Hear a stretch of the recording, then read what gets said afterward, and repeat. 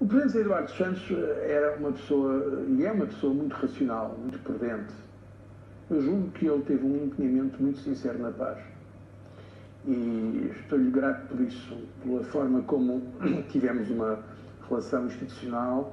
Aliás, ele, quando foi o Acordo de Nicesso, esteve lá em Lisboa, que foi assinado em Lisboa, em 91, e ele tem palavras eh, de grande reconhecimento e de grande simpatia, dizendo que a mediação portuguesa foi sábia, justa, isenta, hum, competente, e, e por isso estou muito grato, porque acho que tivemos sempre uma relação de grande confiança.